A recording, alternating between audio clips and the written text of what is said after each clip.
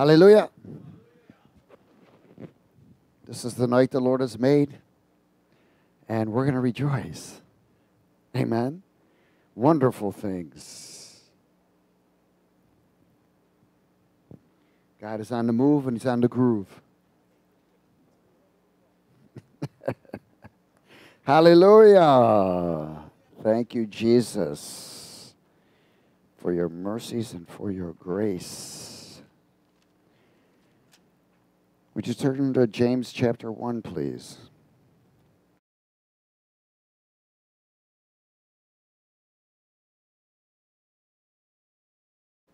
Hallelujah. James chapter 1. Can everybody hear me? Okay. Hallelujah.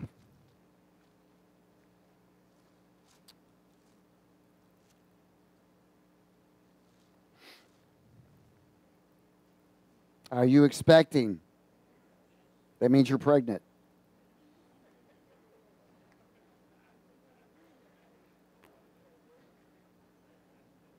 Hallelujah. That means you're getting ready to give birth to something.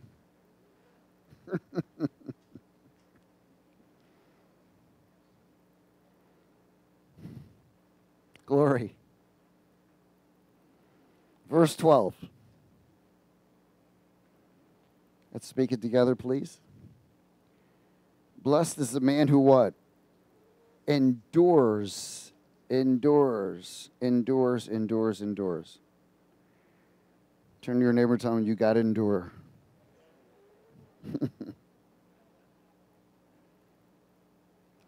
and we are in such a time of need of endurance. Amen. Again, remember the atmosphere is there's such a battle in the heavenlies, and the atmosphere is changing constantly. We're battling to take possession of the atmosphere. Amen. He said, Blessed is man who endures temptations. Those are attacks, floods of the enemies, trials, disappointments, sicknesses, fears, rejection, lust of the eye, lust of the flesh, pride of life, and all the other stuff that you're going to be attacked with. For when he has been approved, in other words, it's how you endure is a test. If you've been improved, if you've been approved, if you've passed the test of endurance, he says this. He will receive the crown of life which the Lord has promised those who love him. But if you don't pass the test, well, there's no crown. Because the only way you can make it home is you're going to have to endure all the way. All the way home, all the way to the throne. Endurance. You know, in endurance, it means that we're to stand fast. You know, we're to wait have patience. People always talk about, how you going to pray for patience? I'm what an idiot. You're going to get it no matter what. Whether you pray for it or you don't. patience is a fruit of the Spirit. Amen? But in this endurance that you and I are in, sometimes you're going to have to hold on during the flood or the attacks. You hold on, you stand fast. And then there's sometimes where you press in because you want to be one who pursues also.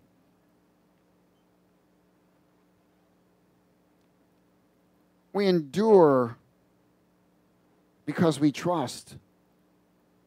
A person that doesn't endure doesn't trust God. And a person that doesn't trust God doesn't know Him.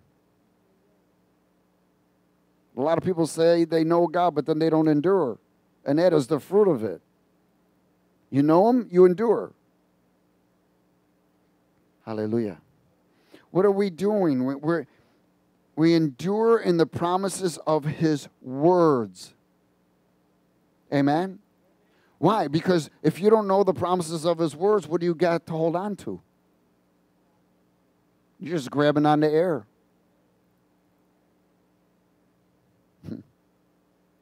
Hallelujah. Let no one say when he is tempted, I am tempted by God. For God cannot be tempted by evil, nor does he himself tempt anyone. But each one is tempted when he is drawn away by his own desires in what? Enticed. Let me tell you when temptation comes when you step off the word. There's the enemy waiting. Because the word, remember, the word says no other one can build a foundation except for Christ. Amen. So on the foundation of Christ, through the anointing, in his anointing is his presence, power, and truth. His truth is his word. So that is what you and I stand on. The moment you step off, the enemy's there. That's all you do is compromise one little thing and he's there. So, so many people want to test the waters. They put their one foot off. Didn't realize they just put their foot in defilement waters. Then their toe gets contaminated, you know? But man, you can't, that, that, that's what's so important. Why would you want to test contaminated waters? you know? Hallelujah. But each one is tempted when he's drawn away by his own desires or emotions. And then he's enticed. In other words, he bit the bait. Then, when desire has conceived, it gives birth to sin, and sin, when it is full grown, brings forth death. Do not be deceived, my beloved brethren. Don't be deceived. Very important. Amen. Every good gift and every perfect gift is from above and comes down from the Father of lights, with whom there is no variation or shadow of turning. Of his own will, he brought us forth by the what? By the what? The word of truth, and that's what we're to stand on, isn't it? That we might be a kind of first fruits of his creatures. Hmm. You know, when the enemy comes in temptation, what is he actually doing? He's, in, he's inviting you into false emotional fulfillments of the world. That's a part of the temptation.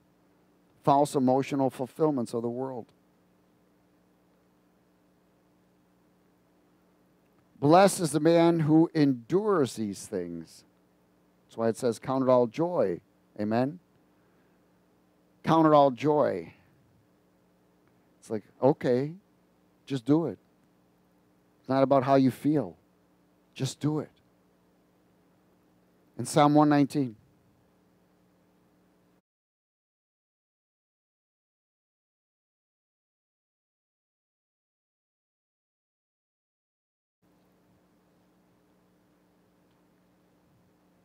Psalm 119.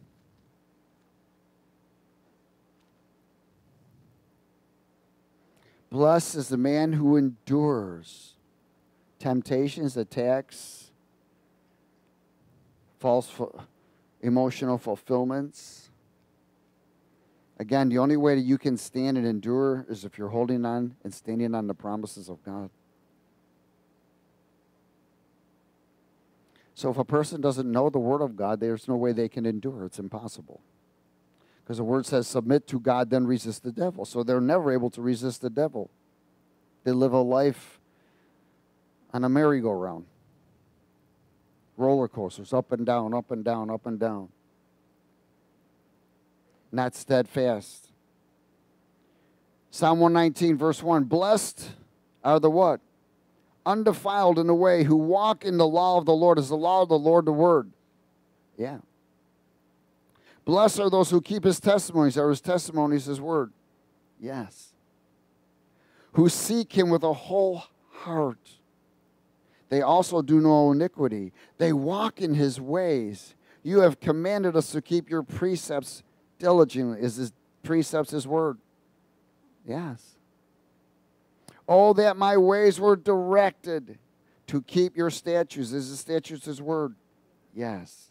Then I would not be ashamed when I look into all your commandments, which is his word. I will praise you with uprightness of heart. When I learn of your righteous judgments, I will keep your statutes. Oh, do not forsake me utterly. Wow. Verse 65.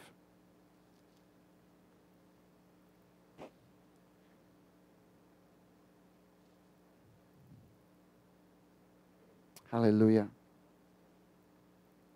Psalm 119, 65. Let's speak it. You have dealt well with your servant, O Lord, according to your word. Teach me good judgment and knowledge, for I believe your commandments. Before I was afflicted, I what? I went astray or I stepped off your word. Then I was afflicted. But now I what? I keep your word. I'm back on the word again. You are good and do good. Teach me your statutes. The proud have forged a lie against me, but I will keep your precepts with my whole heart. My heart, their heart is as fat as grease, but I delight in your law or your word. That I may, uh, it is good for me that I have been what? Afflicted. Now, uh, in this affliction, see, the enemy, enemy, when you step off, there's two areas. One area is the enemy comes to steal, kill, and destroy. So the enemy is coming to kill. God is coming to correct. There's a difference. Amen. God comes to correct, the enemy comes to kill. God wants to get you back on the word as quickly as possible. The enemy wants to pull you off the word. So that you run to the world, you run to yourself, you live out of your emotions, and you run back to the things that were false fulfillments. Amen? Oh, happy days.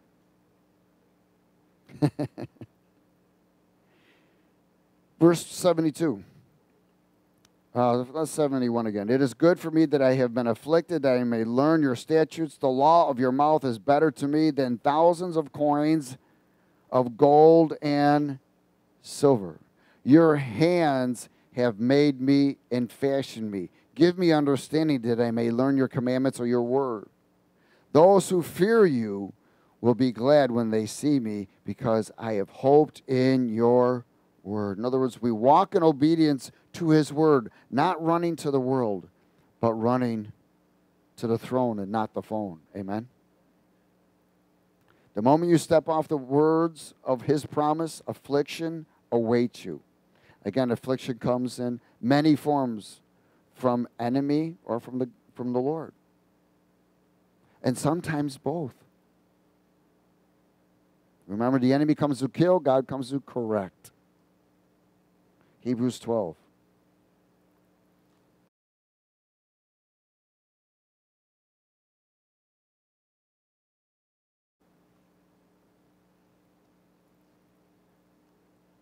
Hebrews 12.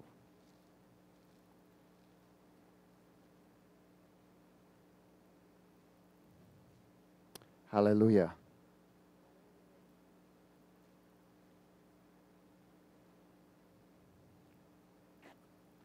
In verse 1,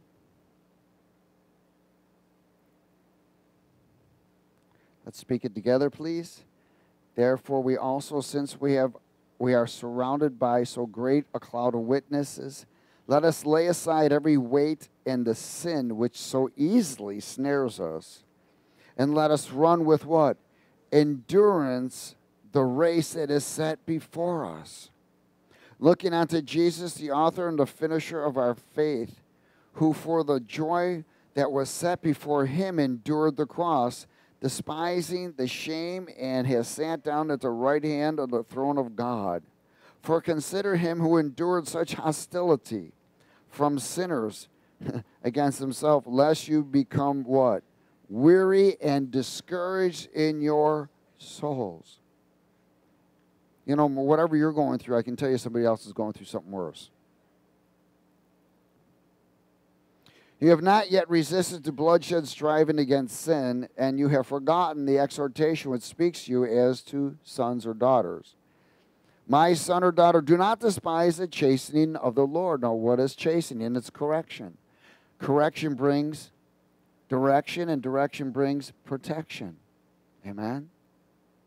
Do not despise the chastening of the Lord, nor be discouraged when you are rebuked by him. For whom the Lord loves, he chastens. Whom the Lord loves, he chastens. whom the Lord loves, he what?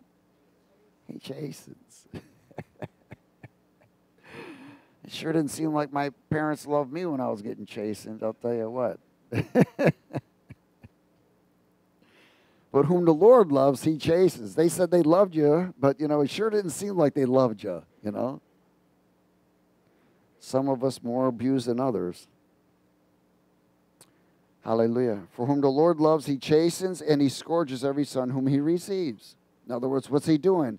His chastening is what? Correction. Amen.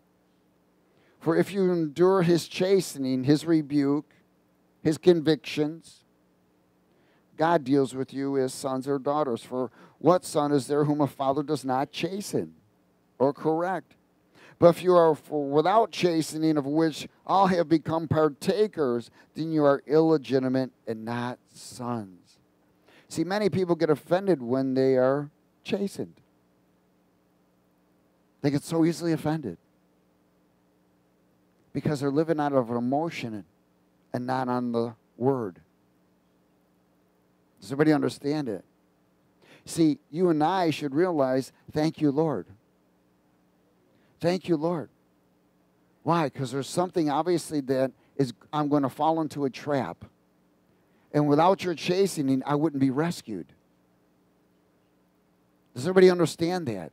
See, people always look at, because this is how the enemy operates, you're bad. You're no good. How could you do such a thing? That's how the enemy attacks. The Lord says, I understand. You got deceived. Don't be stupid anymore. Learn. Amen? Now, I'm going to correct you so you don't do this again. Somebody understand? Praise God. So it's because He loves us. He's not out to kill us like some people think He is. Hallelujah. Furthermore, we had hus- uh, human fathers, right? Who corrected us and we paid them respect, shall we not much more readily be in subjection to a, the Father of spirits and what? And live. For they indeed for a few days chasten us as seemed best to them, but He, God the Father, for our profit, that we may be ta- partakers of His what? Holiness, His righteousness. Now, no chastening seems to be joyful at the present, but painful Nevertheless, afterward, it yields the peaceable fruit of righteousness to those who have been trained by it. So, as a part of your training, chastening, yes. So, don't get freaked out when it happens. Why? Because God is trying to keep us in a place of endurance. Listen, there's so much stuff right now going on. There's so much shaking going on. Without endurance, people are falling off. They can't even last because they're still living emotionally. They are not living on the solid word of what God says and promises. They're living on what people say, what their feelings say, what their mind says, and what the voice of a stranger says. Hallelujah. Is everybody okay? His love will chasten because correction brings protection. Amen? And you get direction out of it. We are trained by his love, so that means you're going to be trained by chastening. Second Peter chapter 1.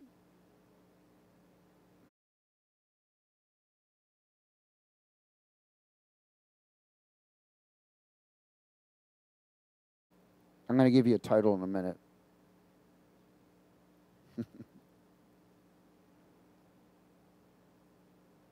Hallelujah.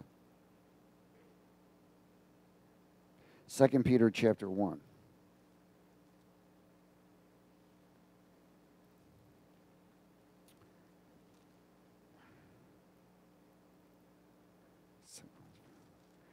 In verse 2. Remember, we are standing on the promises of God, what He says. Not what the world says, what He says. It says, Grace and peace be multiplied. In verse 2, grace and peace be multiplied to you in the what? The knowledge of God and of Jesus our Lord. And where are you going to find that knowledge of God? In His Word. Amen. And His divine power is given us to us all things that pertain to life and godliness through the knowledge of him who called us by glory and virtue. So the divine power, amen, is brought to me and you with understanding because of his knowledge of his word. His knowledge reveals him. Hallelujah. Verse 4 By which have been given to us exceedingly and great and precious what? Promises of what? His word. That through these you may be partakers of the divine nature. Now listen, are you a partaker of divine nature without standing on his word? No, it's impossible. Having escaped the corruption that is in the world through lust. The knowledge and promises of his words that means you're accepting, you're believing, and you're decreeing will allow access to the divine nature. Now, listen where the divine nature is, there is no darkness. Amen? There's no deception. There is no sickness.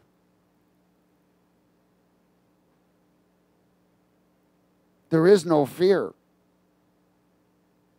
and self cannot exist in a divine nature. Does everybody grab hold of this? So when you're truly in the divine nature, you're perfect. It's when you're not in the divine nature that you're not. Sickness does not dwell in the divine nature, it dwells in the human nature. Amen? It doesn't dwell in the divine nature. The divine nature is not from this world, it's from the future. It's from God Almighty. He's eternal and He's pure and He's holy and He's righteous. Your divine nature in you cannot be sick nor contaminated unless you allow it. But nothing in a divine nature dwells. There's no shadow. It's light. God is light. And where light is, there's life. Amen? And there's truth.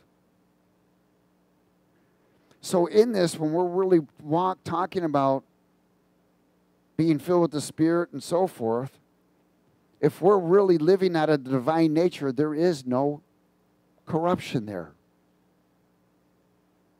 It doesn't associate with it, it is totally protected by God the divine nature is there for me and you. It says that you partake of the divine nature. So, as you and I are partaking of the divine nature, we overcome everything of this world. Hallelujah.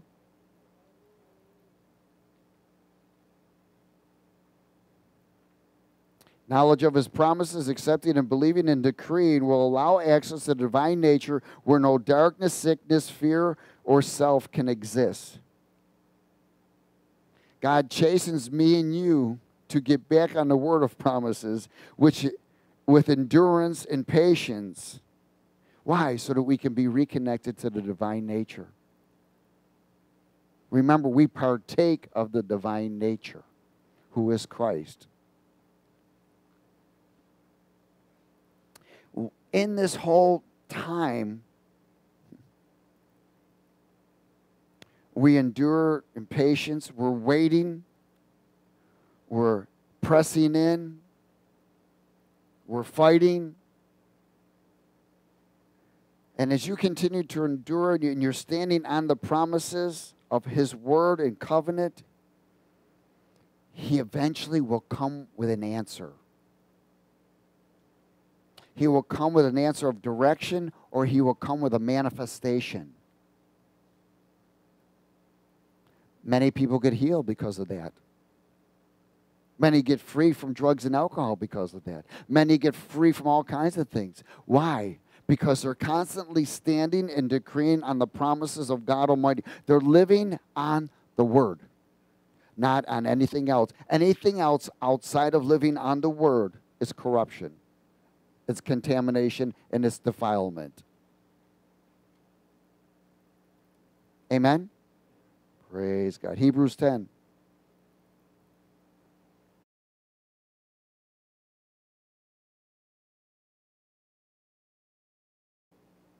Glory. Now, when we grieve the Holy Spirit,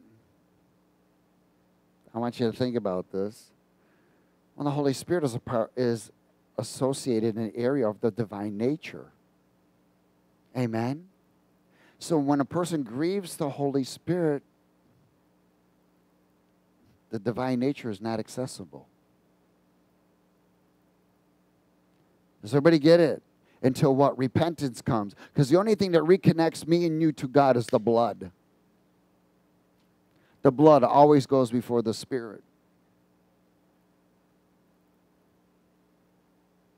I've never seen a divine nature sick. It's called divine nature. Hello. God doesn't get sick. There's no sickness in heaven. There's no fear. There's no lust of the eye, lust of the flesh, pride of life. There's no self, thank God. So the divine nature is an extension of God Almighty into this realm by His Spirit into me and you. So you can partake of this divine nature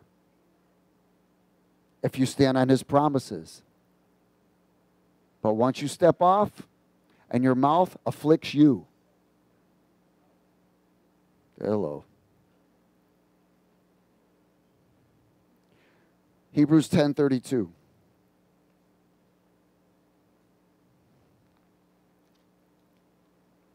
Glory.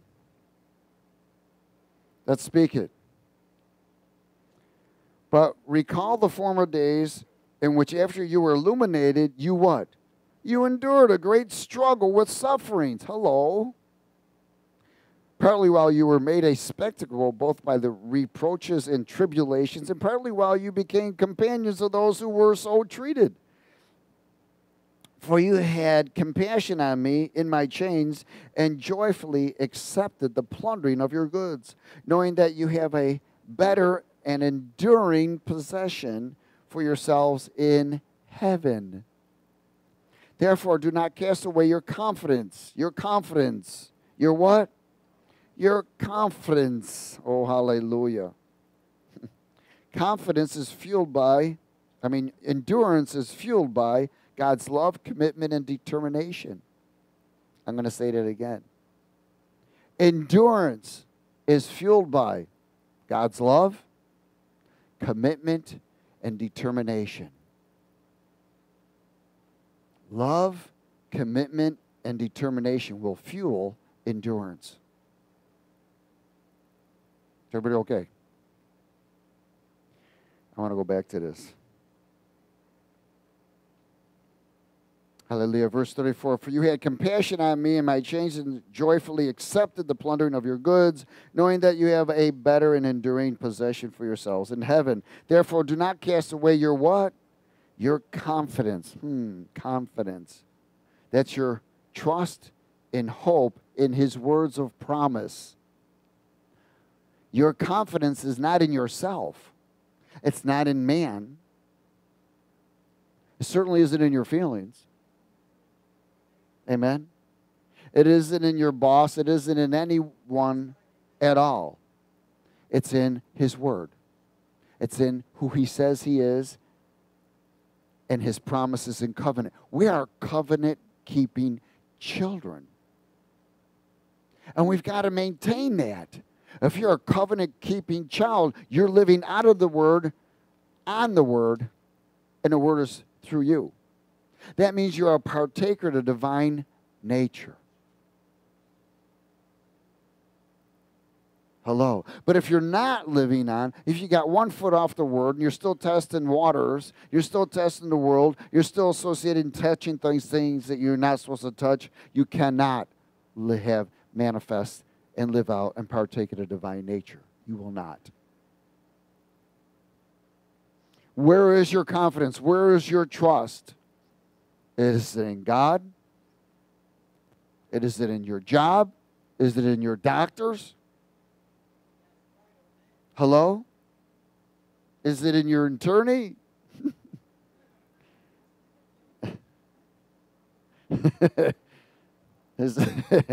We won't go any further. Therefore, do not cast away your confidence, which has what? great reward. There's a great reward. Victory, freedom, healing, deliverance. For you have need of endurance, so that after you have done the will of God, you may receive the promise. I'll listen to this. So you're living on the word, you're decreeing the word, right? You're an epistle. Now, the Lord says something for you to do. It may be something for prosperity. Hello? He's telling you to do something. It may be something for healing.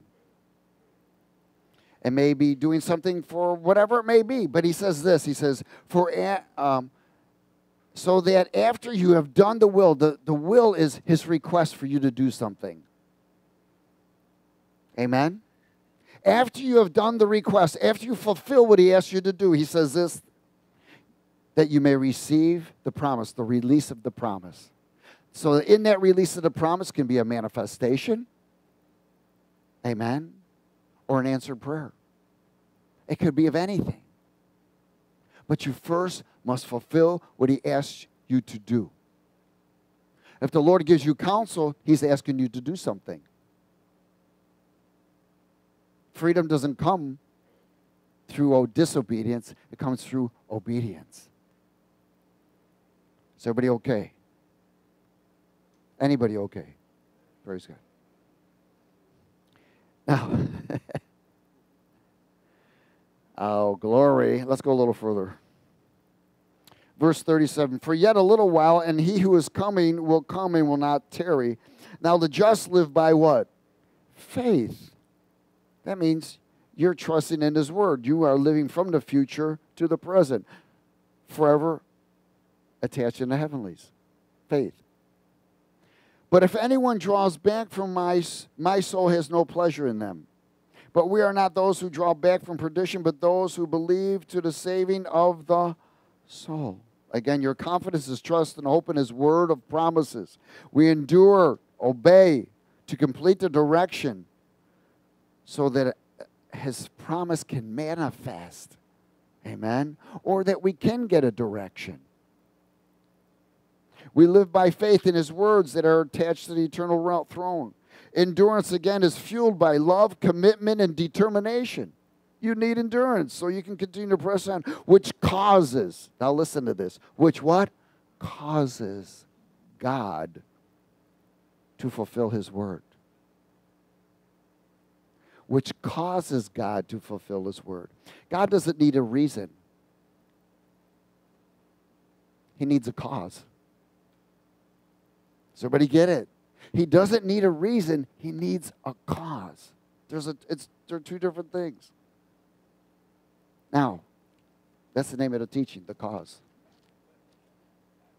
Now listen to this. The cause, what is the cause? It invokes a response or action. To cause, it invokes a response or an action. Reason is justification for an action or an explanation. When people have a reason, they usually want to explain it. But there's justified. Amen? So between the reason, one is uh, justification for ex- explanation, the other one invokes a, something to happen. Again, God doesn't need a reason. He created me and you with a reason. But he's looking for a cause. He's looking for someone to cause him to move. You know, uh, and you probably heard this testimony. When I had messed up my leg and, and, and so forth, and I told him I wouldn't be able to walk for three months and whatever, and wanted to give me all kinds of stuff and whatever. And that happened on a Sunday from playing football. And uh, that Tuesday night, we had Bible study, and I had crutches. and uh, so I got on my crutches, went behind the pulpit, put crutches over on the side. We praise and worship. Man, the anointing came, and I heard the Lord say, Walk. I put my foot down, almost went through the ceiling. I was like, and then on the side, it was, you know, God's, you know, anyways. He was like on a boat, and he was in the front of the boat looking at me, and there was water all around. And he said, Ask me. He said, Ask me to command me to walk. I said, Lord, would you please command me to walk? And he said, I command you to walk. And I did. I ran around the church. Fine. I came home with the crutches on my shoulder that night. My wife was very happy because there was all kinds of stuff. And she was like, man, this is a crazy time for you to start this. We, you know, Lissy was just born or something. I don't know. And she needed help and whatever. But it wasn't until he said, asked me to command you to walk. That was a cause. So I said, Lord, please command me to walk. Because he first said, I heard, walk. And man, when I put my foot down, I'm thinking, what the snap? That couldn't have been my father because the pain would have been gone. But I looked and it was. He was teaching me about the cause. And this was years ago. years ago. and so, in that, you know, when we go to the Lord, he, Lord, your word says, what are you doing? You're in an area of cause, not reason. Oh, Lord, you know, I need this because of this, this, and that. Forget that. That's reasoning with God. You don't need to reason with Him, you need to get Him into a place to cause Him to move. Because that's what He's looking for. He wants to move. Amen? Oh, happy days. Glory. Is everybody all right? Again, endurance is fueled by love, commitment, and determination, which causes God to fulfill His word. Causes to invoke response, action, or manifestation. Reason is justification or explanation. We have already been justified. We don't need to reason. Amen? 1 Corinthians 6. Glory.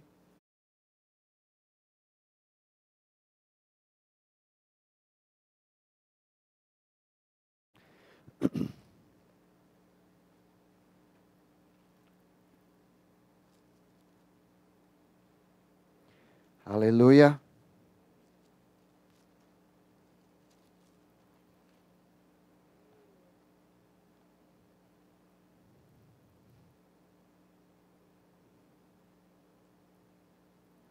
First Corinthians 6, verse 7.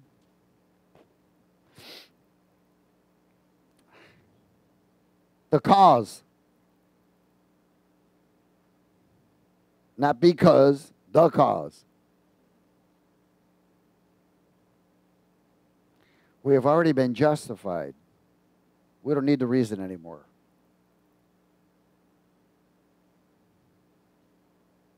Remember, once he tells you to do something and you complete it, then the, it's released. The promise is released. The problem is, is not everyone completes what he's asked to do. And they're all wondering, what the heck? What happened? Didn't Saul do the same thing? Remember, you're told to kill everyone. And don't take anything. Kill the place. Destroy it. And he came back with the king and goods and everything else. He compromised. He thought he was doing it for God. Hallelujah. And he got rejected. 1 Corinthians 6 7, let's speak it. Now, therefore, it is already an utter failure for you that you go to law against one another. Why do you not rather accept wrong? Why do you not rather let yourselves be cheated? No, you yourselves do wrong and cheat, and you do these things to your brethren. Do you not know that the unjust or the unrighteous will not inherit the kingdom of God? The unrighteous will not inherit the kingdom of God. Look at the disobedience will not inherit the kingdom of God. Do not be deceived, neither fornicators, nor idolaters, nor uh, idolaters, nor homosexuals, nor sodomites, nor thieves, nor covetousness, or covetousness, nor drunkards, nor revelries, nor extortioners will inherit the kingdom of God.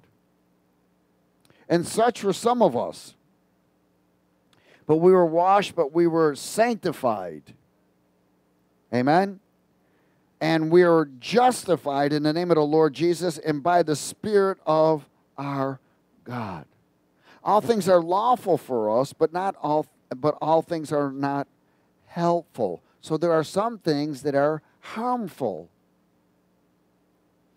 All things are lawful for me, but I will not be brought under the power of any.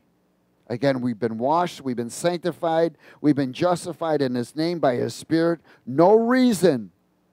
There's no reason for reasoning, but cause. So that we, in, which is invoked by a decree of His covenant promise. And because we're standing. Listen, you can't decree God's word if you're off the foundation. That ain't going to work. If you're still touching things that are unclean out there and trying to decree, it ain't going to work. Amen. We are promise covenant keepers, and He is a covenant promising God. Psalm 143.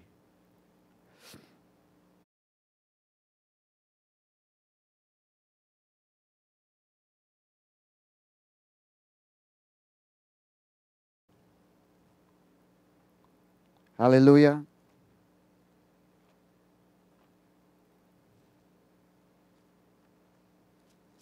So if God says it, do it. And once you do it, you can expect a manifestation or a direction. You can expect a deliverance, healing, whatever.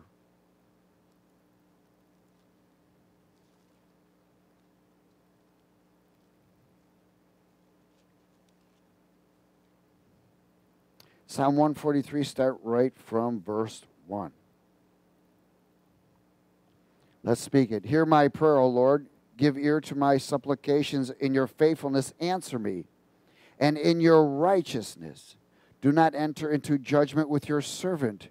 For in your sight, no one living is righteous. For the enemy has persecuted my soul. He has crushed my life to the ground. He has made me dwell in darkness, like those who have long been dead. Therefore, my spirit is overwhelmed within me. My heart within me is distressed. I remember the days of old. I meditate on all your works. I muse on the work of your hands. I spread out my hands to you. My soul longs for you like a thirsty land. Answer me speedily, O Lord. My spirit fails. Do not hide your face from me, lest I be like those who go down into the pit.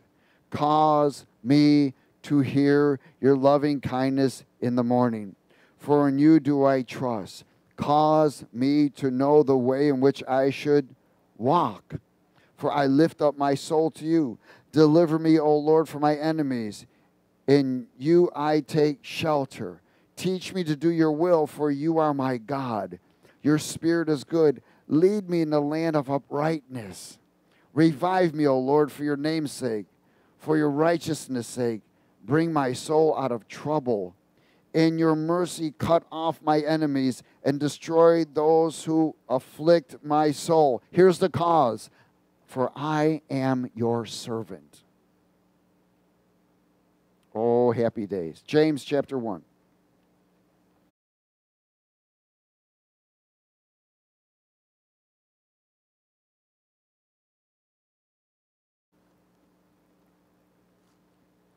No reason, just cause.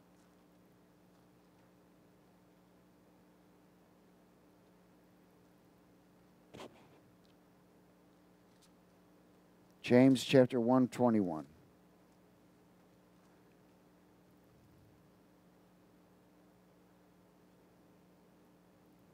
Is everybody okay? Are you getting this? This should be life changing tonight.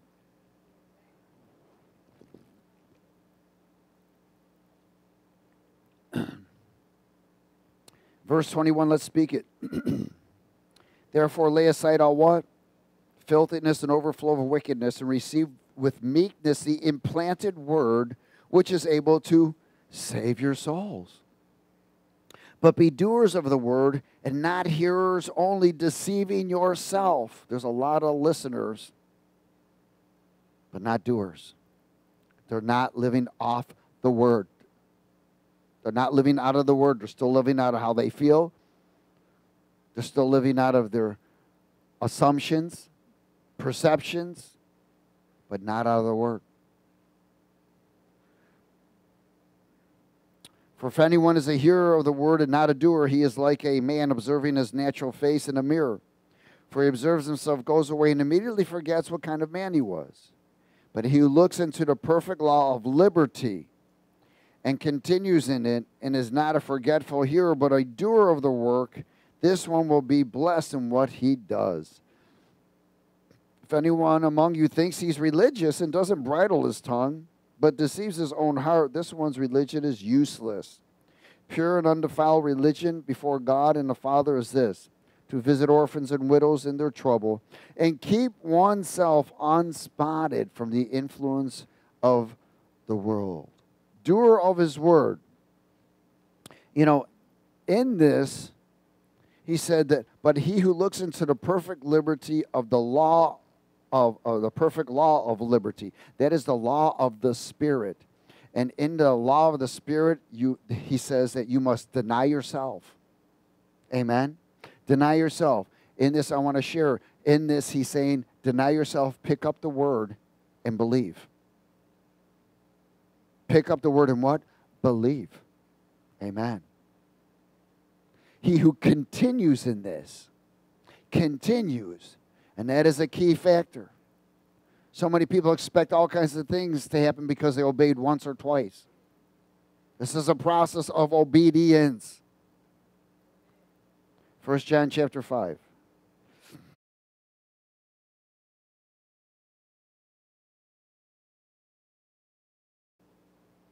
And you can't reason with God in this. Oh Lord, but I've done this. Oh Lord, but don't I deserve this? It's not that's reasoning.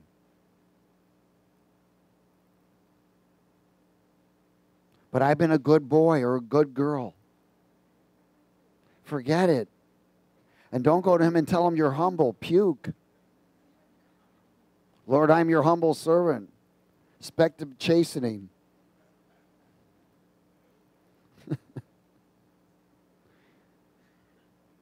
Hallelujah. First John chapter 5 verse 14. Now, this is the confidence. Is everybody there? Okay. Now, this is the confidence that we have in what? Him, not us. Hallelujah. That if we ask anything according to His word, His will, how many y'all know His word is His will? All right. He will, and He what? He hears us. He hears us. If we know that He hears us, whatever we ask, we know that we have the petitions that we have asked of him. In other words, we know he's got it. Now, what we want to do is allow him to have the last say. Nobody else gets the last say, not even us. He gets the last say. Verse 16. If anyone sees his brother sinning a sin which does not lead to death, he will ask, and he will give him life for those who commit sin not leading to death. There is sin leading to death. I do not say that he should pray about that. Hello, you need to go tell him. All unrighteousness is sin, and there is sin not leading to death. We, we know that whoever is born of God does not sin. Now, sin is the presence of evil. Amen? But he who has been born of God keeps himself from the presence of evil. Now, why? Because he's partaking of the divine nature. It's a different lifestyle. It's a different way of life. It's not taking part of the partaking of the human nature. You're no longer doing that. You're putting up with it. You're crucifying it, but you're now partaking in the divine nature, and in the divine nature is standing on the promise of God, what He says. Again, the divine nature don't get sick. It's human nature to get sick. It's human nature to get emotionally goofy. not the divine nature, the human nature. Unfortunately, we still carry this human nature. Amen. You sleep with it. You look in the mirror, there it is. You pretty it up as much as you can. you dress it up as much as you can. You work it out as much as you can. You buff it up as much as you can, but it's still stinky human nature. Amen? oh, happy days. We know that whoever is born of God does not sin, but he who has been born of God keeps himself. And the wicked one does not touch him. Why? Because he's in a divine nature. He's partaking in divine nature living off the word, living through the word, decreeing the word. We know that we are of God and the whole world lies under the sway of the wicked one. And we know that the Son of God has come and given us an understanding that we may know him who is true, and we are in him, in the anointing, who is true, and in his Son, Jesus the Christ, who is true. This is the true God and eternal life. Little children, keep yourselves from idols that will contaminate you. Amen? I'm going to close at 2 Corinthians 6.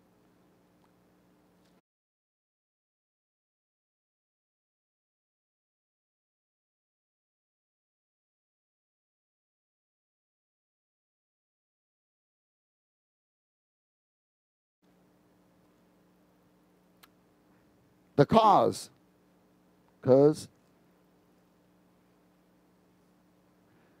glory.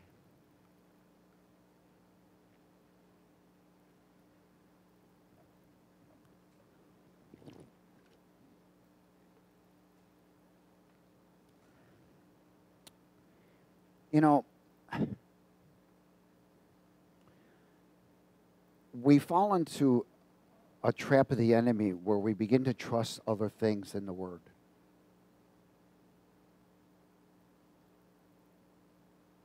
I mean, and so don't get me wrong. I'm not, you know, remember, medications and supplements are for the human nature, not for the divine nature. but our trust is not in them. My trust is not in a doctor or a mechanic or anyone else. My trust is in the Lord and what He says. And there are times when you just don't know what to do yet. And when you don't know what to do, you wait. That's called endurance. You know, I've been looking for a, a truck, a box truck. It's just been put on my heart to look for a box truck. I've, I've probably I've probably traveled two, 200 miles already looking at all these trucks. And, and the best ones that I found for the best prices were one of the ones that they've retired from the, uh, what do you call it, U-Haul. And uh, they're they're the you know anyways. You would think that they're the most best kept up ones and whatever you know. But everyone i've tried in fact the last one i drove the other day the transmission blew up on me while i was driving a test driving a smoke everywhere we got stranded. The only thing it went into was reverse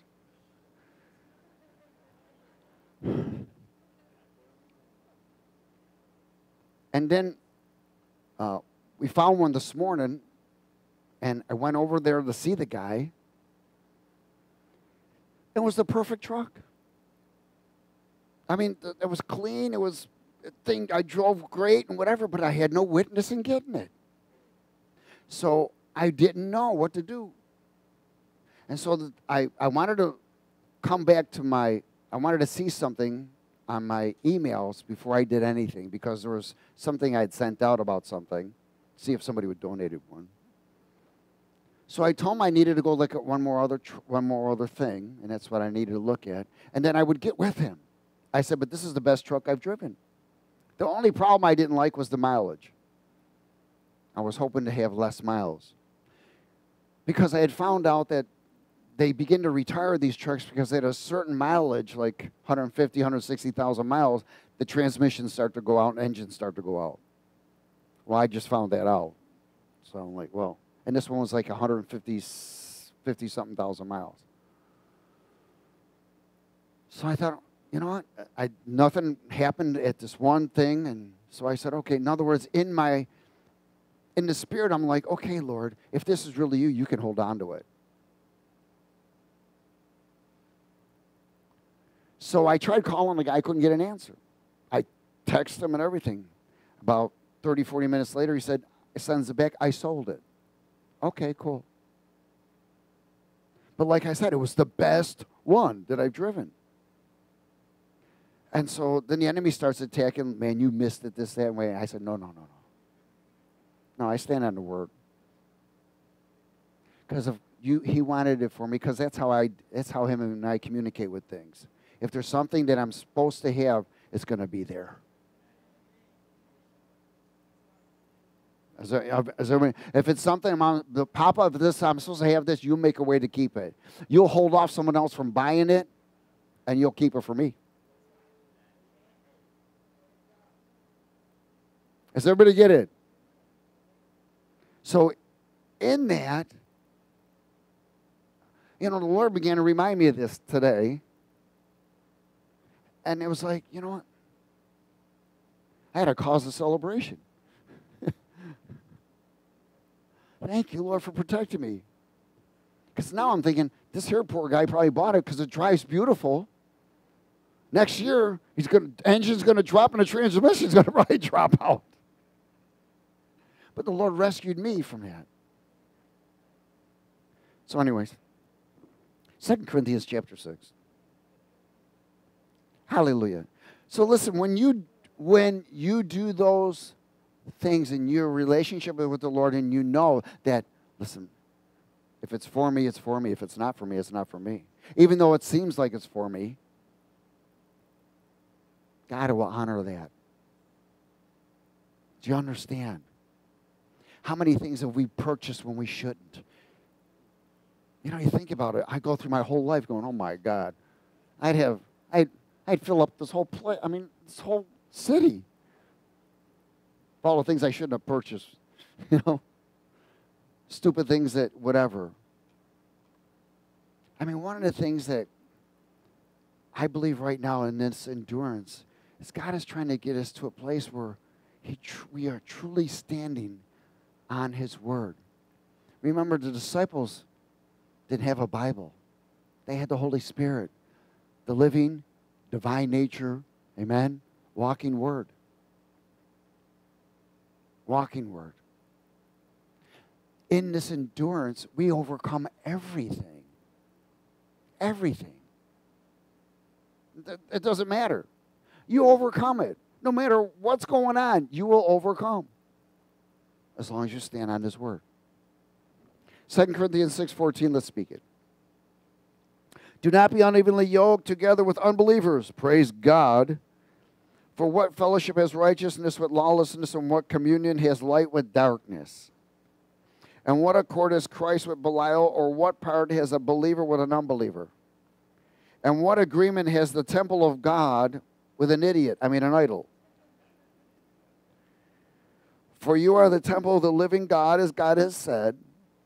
I will dwell in them, I will walk among them, I will be their God, and they'll be my people. If you do this, what? Come out from among them. Come out from trusting everything else but His Word. Amen. And don't and be separate, says the Lord. And don't touch what's unclean. And I will receive you. And I'll be a father to you. And you'll be my sons and daughters, says the Lord. Therefore, having these promises, Beloved, let us cleanse ourselves from all filthiness of the flesh and of the spirit, perfecting holiness in the reverence and fear of God Almighty. Don't touch anything that is off the foundation of His words. Amen? Don't touch it. Just to be a son and daughter is a cause for Him to move on your behalf. Amen? But what delays things is when we begin to trust in other things. If it ain't from Him, we don't want it. If it's not from Him, we don't want it.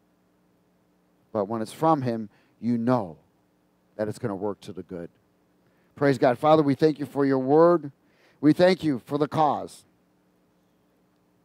We thank you that you have a reason for each and every one of us to manifest the cause from you. We ask for your forgiveness, mercies, and grace to abound abundantly. We repent for those things that we've accepted that were not sent from you. And we ask that you cleanse us from those things. And that you would purify us in every area that we may be sons and daughters and servants that are well pleasing to you. For your name and for your glory and for your honor. In Jesus' name. And everybody said, Amen. Praise God. Be blessed and stay dressed with the glory.